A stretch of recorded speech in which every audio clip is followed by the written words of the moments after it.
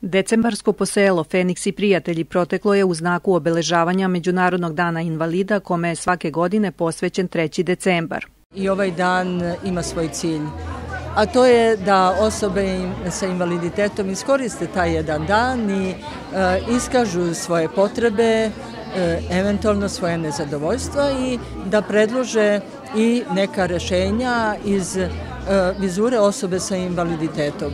Problemi sa kojima se susreću osobe sa invaliditetom su mnogobrojni i upravo ovakva okupljanja im mnogo znače. Ipak onda imaju neki osjećaj da, da, da nekome pripadaju, da neko misli na njih, da, da, ne, da neko čuje za njih i da opet imaju da im daje neku nadu i, i volju za, za daljom borbom sa, sa time što ih je znaš.